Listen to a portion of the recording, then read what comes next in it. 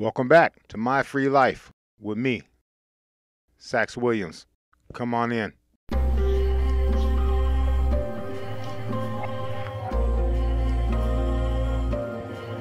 Being prepared for unseen problems is important, especially in days like today. So, this channel is dedicated to teaching you how to be off the grid, create your own energy, you know, turn wood into fuel, things like that. How to be prepared in case the grid goes down. So, stick with me. Let's make this stuff happen. Well, hello, guys and gals. Thanks for joining me again. My Free Life. I'm Saxx Williams. On this episode uh, is going to be part two of the diesel fuel reactor build, uh, converting plastic into liquid diesel fuel. Uh, in today's video, we'll be building the condensers. So uh, let's get right on into it. And again, thanks for stopping by. Don't forget to like, subscribe, share with some friends, leave some comments, uh, help push us along. All right, right into it. All right, so for the second part, of this diesel fuel reactor build. Went and got this uh, air tank from the pawn shop for under 30 bucks. I need to find me another one, but I'm going to uh, make the two condensers um, out of these tanks. So, which sucks because this is a great tank. I hate to uh, tear into it, but I need the cylinders. So uh, I'm gonna pull this apart, put some legs on it, and get to making the first condenser. And here's my design for the condensers the tank with the legs on it, the three quarter inch gas lines installed with the elbows so that we can transfer gas from one tank to the other tank with the drain line at the bottom with the valve on it to be able to, to drain the fuel out of it whenever whenever it's you know done going through its process. Now I'm going to prep this tank by getting rid of this and uh, I probably won't cut the handle off till later because I might need to use it while I'm doing what I'm doing. So let me take that uh, air gauge off.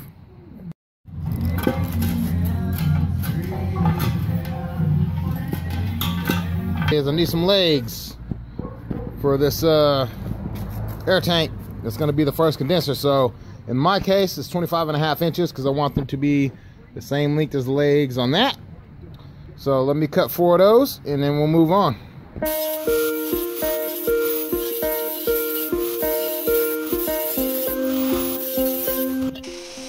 I actually switched up my idea a little bit here. Rather than doing the four legs, I'm just gonna do three legs and do a tripod setup instead. Put uh, some 30 degree angle cuts on uh, all the legs, backward cuts. That way, uh, you know, it, it, can it can spread out and have uh, more stability sitting there rather than, than, than doing four legs. I don't need to; it's unnecessary. So that's what we're doing here. Is uh, we're cutting three legs out and putting angle cuts on it.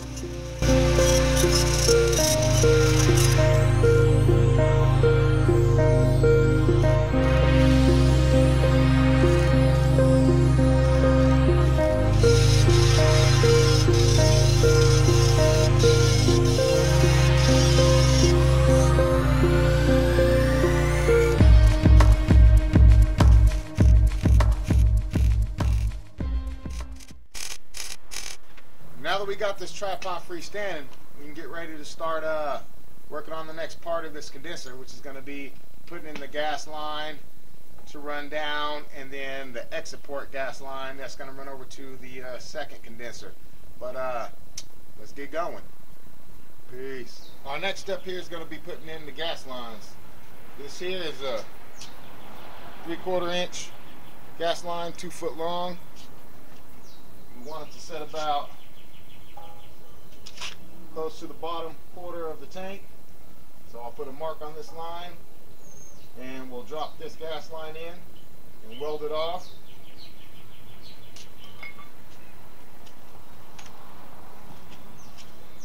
Be using a hole dozer kit to put the holes in. And once we get that gas line put in, then we will next put in the exit gas line, another three quarter inch. This will just go right in to the top here.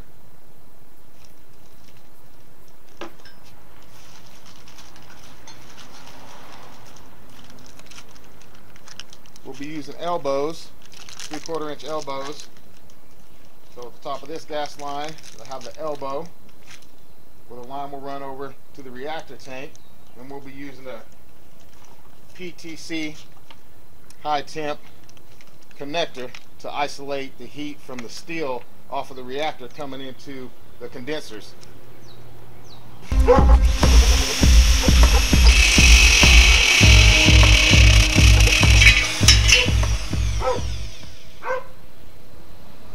Uh, that ain't no good.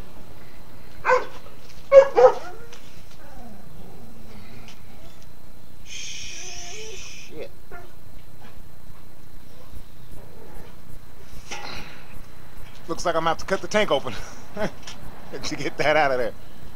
Well, my bit was certainly not supposed to fall in the tank, so that was not part of the plan. Now I'm gonna have to cut the tank open so I can get the bit out of there. But it looks like there's a bunch of nastiness inside that tank anyway, so not really a bad idea. Cut it up and clean it out. Weld that cap back on there. But anyway, not part of the plan. Hopefully you can avoid this part.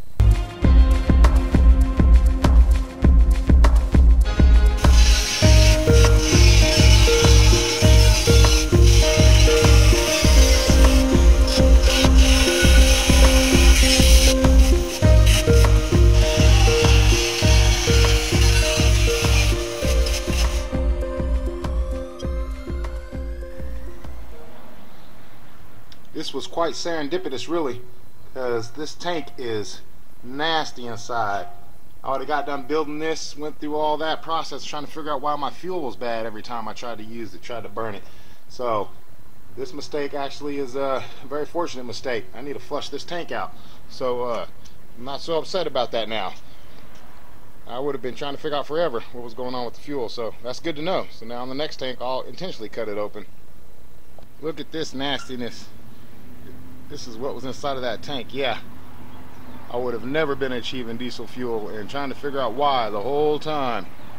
So that was a really good mistake right there. Thank God for that.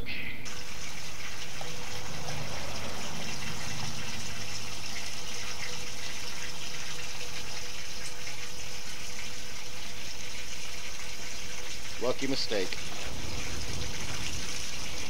Blessings come in all shapes and sizes. Remember that.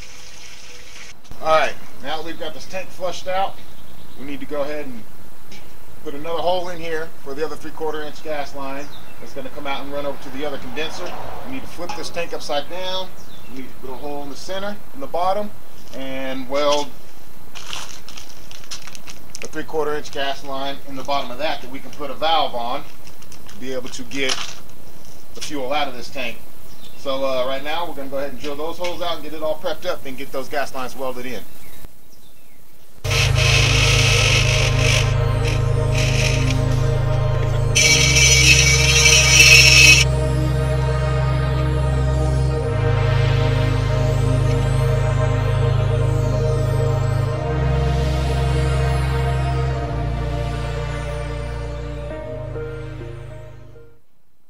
Don't want to go too far in the tank. I want to try to get that as flush inside of there as possible so the buildup doesn't have to get as high with the liquid before it can come out. So if I stick it all the way down in there, well obviously it's going to have to get above that line to be able to drain it. So I want to try to get this as flush as possible so it's at the bottom of this curvature on this tank so that that fuel can drain out easier.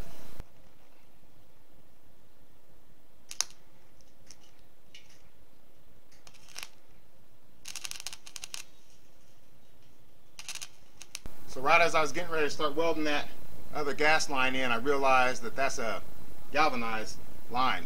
You don't want to weld on galvanized. That'll uh, that the fumes are toxic. It can literally kill you. So do not weld galvanized. All right, it's a very bad idea.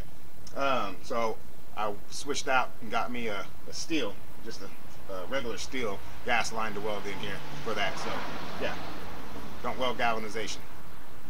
So now we've got the gas line put in the bottom, which we will be putting a valve on that so that we can put a uh, container underneath it to, to fill up uh, the liquid that we create in here in this first condenser. And I don't know if you can see in there, but that's the inside where it's barely coming over the bottom of that curvature in that tank so it's not going to take as much fuel in there before it can start draining out. So anyway, now we're going to put our exit line in here. So we'll drill out that hole and then we'll weld another steel, not galvanized steel, but just regular steel gas line coming out of here. Um, this one doesn't need to go very far in the tank, but uh, it doesn't have to be flush or anything because it's just the gas vapor is going to be coming up out of there, so it's going to find its way regardless. So let's do that.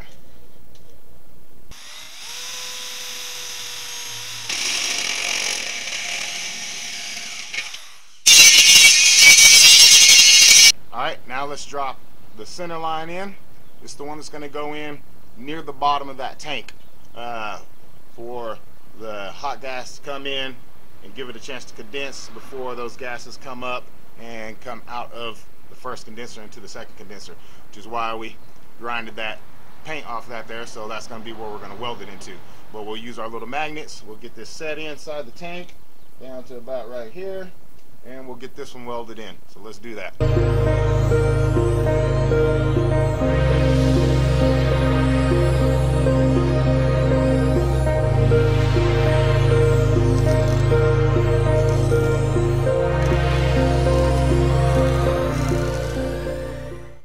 Now it's time to tack on the transfer line for the other tank to transfer from this tank the gases into the second condenser. So let's get this tacked on there.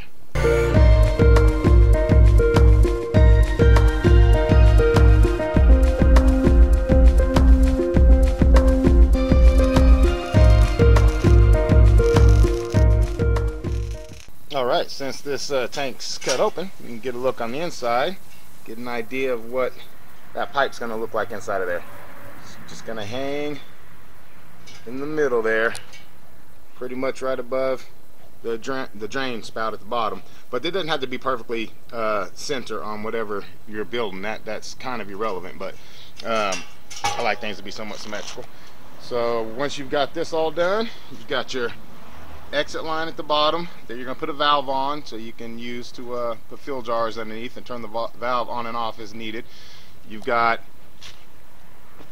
the entry line, gas line, that's going to be coming from the reactor and then you've got your exit line that's going to be going out to the second condenser. And this is only inside of this tank about an inch. It doesn't it doesn't have to be uh, down in there deep for the exit fumes. So on the top of the uh, intake gas line coming from the reactor I'm going to put the three-quarter inch coupling on there connector. The reason why we're going to use this is we're going to widen this top up but we're not going to be putting another pipe into here. Instead, we're going to be using this PTC uh, high temp rubber connector that'll go right over the top of this to isolate the heat from the burn on the reactor tank coming into this tank to keep this condenser a lot cooler instead of transferring that heat uh, steel all the way straight to this steel so we'll use this to isolate that so that uh, we have a better chance of condensing because the temperature will be a lot, lot cooler in here if we can isolate that heat coming off of that reactor. So this will go on here to be able to come off of that reactor. And then we'll be throwing this elbow on here, this 90, to uh, get it set up to transfer to the next reactor. So that, I mean, not the next reactor, but the next condenser. So this condenser is basically completely done, uh, aside of welding the, the cap back on there that I had to cut out to get that drill bit out of there. But I'm going to go ahead and flush this tank one more time while it's cut open, and then uh, I'll probably take this whole tank, set it over my fire pit, make a fire underneath it to make sure it's completely dried out inside before I go to welding this cap back on uh, that I cut out to get into it. And then it'll be wash, rinse, and repeat. We'll build another one exactly the same, and that will be our two condensers. Okay, for one final one over, we've got the isolation, heat isolation, uh, high temp rubber connector that's going to the coupling, three quarter inch coupling, into the three quarter inch gas pipe that is sunk down near the bottom of this tank, few inches off the bottom of the tank. Underneath we have the gas line welded in It's coming out where we'll be putting a, a, a valve on so that we can drain it. We've got the three quarter inch exit pipe coming out and this is only in the tank about an inch or so just enough to get it in there to weld it in we've got the elbow three quarter inch elbow and then I've got a two foot uh, by three quarter inch gas line uh, in that screwed into that that's going to be coming over to transfer into exactly one more of these tanks right here. So we'll be building this twice and then off of the second tank it'll have the same exit that comes out but that'll be going into a final hold barrel. So that's the uh, condenser and we'll be making two of those. But uh, obviously I've got to weld that cap back in there but I want to I want to flush it out one more time and heat the tank up to make sure it's completely dry and then I'll weld that cap back on there. But anyway that's the condenser